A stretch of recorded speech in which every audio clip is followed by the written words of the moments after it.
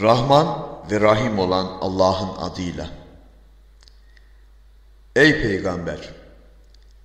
Eşlerinin rızasını arayarak Allah'ın sana helal kıldığı şeyi niçin sen kendine haram ediyorsun? Allah çok bağışlayan, çok esirgeyendir. Allah size yeminlerinizi çözmeyi meşru kılmıştır. Allah sizin sahibinizdir.'' O bilendir, hikmetle yönetendir. Peygamber eşlerinden birine gizlice bir söz söylemişti. Fakat eşi o sözü başkalarına haber verip Allah da bunu peygambere açıklayınca peygamber eşine bir kısmını bildirmiş, bir kısmından da vazgeçmişti. Peygamber bunu ona haber verince eşi bunu sana kim söyledi dedi. Peygamber, bilen, her şeyden haberi olan Allah bana söyledi dedi. Eğer ikiniz de Allah'a tevbe ederseniz ne iyi. Çünkü kalpleriniz eğildi. Ve eğer peygambere karşı birbirinize arka olursanız bilin ki onun dostu ve yardımcısı Allah, Cibril ve müminlerin iyileridir.'' Bunun ardından melekler de ona arkadır.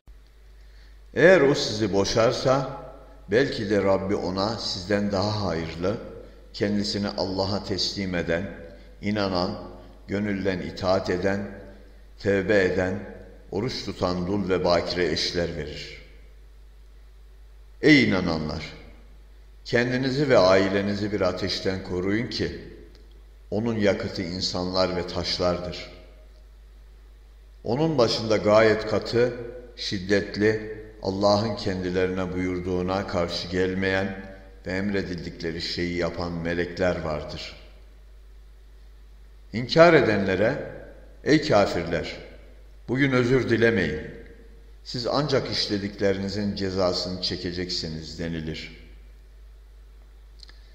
Ey iman edenler! Samimi bir tevbeyle Allah'a dönün. Umulur ki Rabbiniz sizin kötülüklerinizi örter. Peygamberi ve onunla birlikte iman edenleri utandırmayacağı günde Allah sizi içlerinden ırmaklar akan cennetlere sokar. Çünkü onların nurları önlerinde ve yanlarında koşar da, Ey Rabbimiz!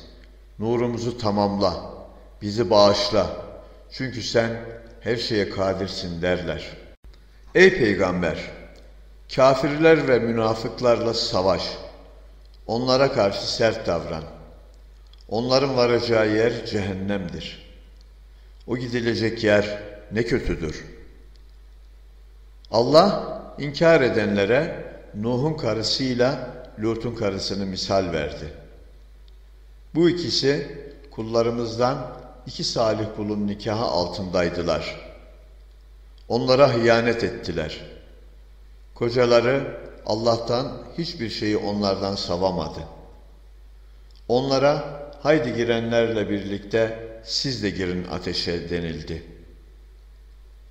Allah inananlara da Firavun'un karısını örnek gösterdi. O şöyle demişti. Rabbim bana yanında cennetin içinde bir ev yap. Beni Firavundan ve onun kötü işinden kurtar.'' Ve beni şu zalim toplumdan kurtar. Irzını korumuş olan İmran kızı Meryem'i de Allah örnek gösterdi. Biz ona ruhumuzdan üfledik ve Rabbinin sözlerini ve kitaplarını tasdik etti. O, gönülden itaat edenlerdendi. Sadakallahü lazim.